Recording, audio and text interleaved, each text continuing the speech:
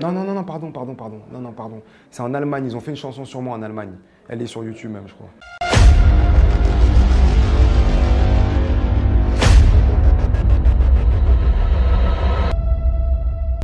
Un homme, une puissance, une rapidité. Le numéro Alors que je, je- moi, je prie hein, quand, je me, quand je me lève là, je prie. Donc, je vais faire mes, mes ablutions et puis je vais prier. Puis on remercie Dieu.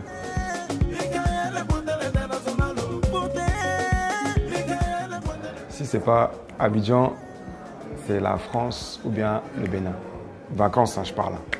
Vacances à Abidjan, vacances euh, en France ou bien vacances au Bénin quand c'est vacances.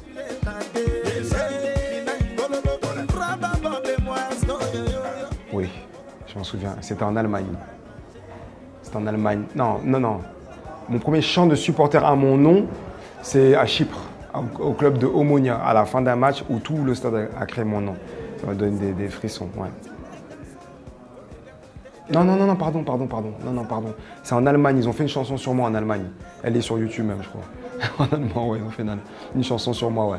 Mais vraiment chanter après par les supporters, tout ça, à la fin d'un match, c'était, à Chypre, à Omonia.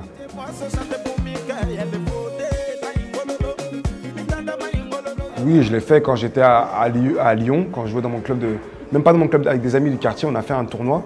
On devait monter une équipe et on a gagné. Donc on a gagné dans notre ville. Après, on est parti dans une autre ville, on a gagné encore. Et c'était avec, qu'avec des joueurs qui jouent en club. Mais voilà, quoi, c'était un petit niveau. Mais on a gagné ça, les matchs de quartier, on appelle ça. Et ouais, c'était. euh, je me rappelle, j'avais, j'avais 13 ans, 14 ans. 13 ans. Ouais.